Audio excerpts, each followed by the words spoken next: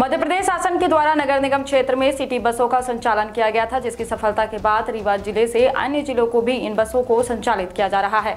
रीवा से सतना के साथ अन्य जिलों को जाने वाली सूत्र सेवा बसों को मध्य प्रदेश के मुख्यमंत्री शिवराज सिंह चौहान ने हरी झंडी दिखाकर रवाना किया।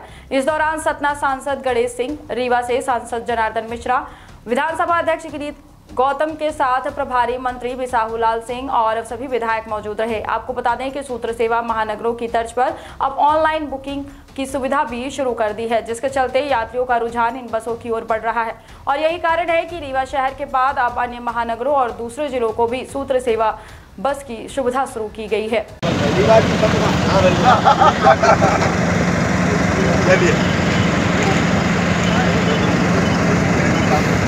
ठीक है Gracias.